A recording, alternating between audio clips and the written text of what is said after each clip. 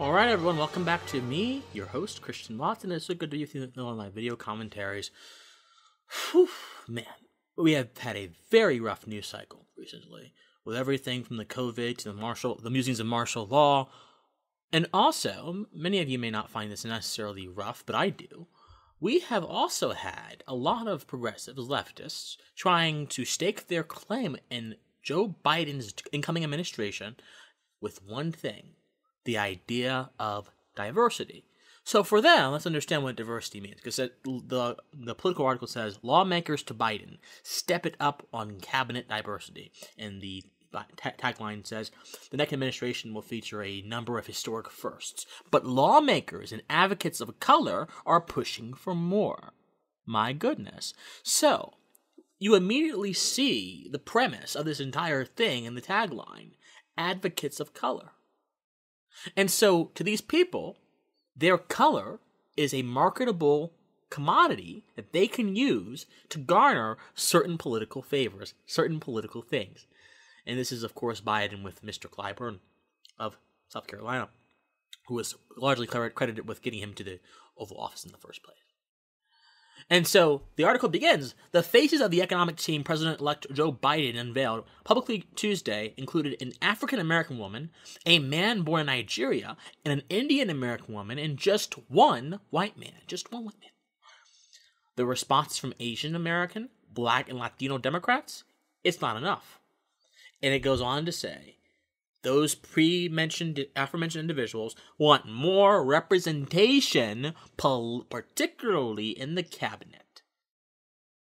Jim clyburn spoke out last week about the need for more diversity in biden's burgeoning administration more black latino and asian american lawmakers are joining the courage of course. So here's what's going on here. A lot of people have this very warped idea that if a certain group of people is composed of a certain appearance. That's all that group is. They are, as we say in philosophy, reductionists. They like to reduce a holistic thing, a holistic mass, down to a single quality. And when you worship at the altar of identity, this problem becomes compounded. So, for example, you have not heard, you will not see in this article any real discussion of the merits of these people. The entire premise, actually, you can't even have the merits in the premise of this argument. Because the premise of this argument, and the premise of an argument, if you guys are familiar with argumentation, is how everything else in the argument goes. So the premise should necessarily follow and lead to the conclusion. If the premise is tainted, the conclusion cannot be logically connected to the premise. The premise of this argument is if we don't have enough brown faces or Asian faces or Latino faces in Joe Biden's cabinet, What's happening? What's happening is communities are not being represented. So we're taking a single quality of someone, we're literally destroying their spiritual value, their moral value, and we're saying, no, this single quality is going to represent an entire group of people who are affiliated by nothing more than their skin color. That is rank collectivism, and that is, quite frankly, it reeks of crypto racism. It's not necessarily total racism, it's crypto racism. Well, Christian, the GOP is the party of old white men, so what? And that's not why the GOP is having problems. The race of someone does not necessarily confer a certain position. To think so is racist. To think so is ignorant. To think so is wrong. The race of someone, the skin color of someone, does not necessarily tell you very much about them.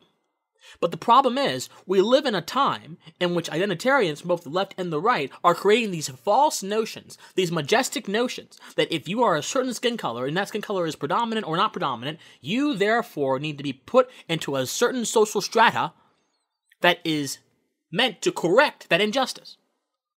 Many people are hailing Kamala Harris's victory as vice president because she's a woman, Indian American and African American or whatever.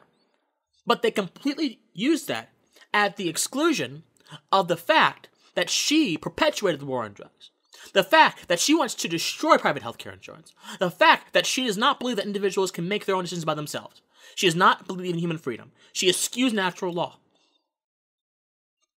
But all those things go away because apparently she's a woman. Ladies and gentlemen, we have got to stop being biological determinists. Someone's womanhood, manhood, black blackness, whiteness, Asian, whatever, does not have any substantial bearing on their merit, does not have any substantial bearing on their moral paradigm, does not have any substantial bearing on what they're going to do in office. Has none. It only has bearing because Americans are shackling themselves to the block of mediocrity in believing that a race is this godlike divine quality. We are basically the cult of race now. So, how do we fight it?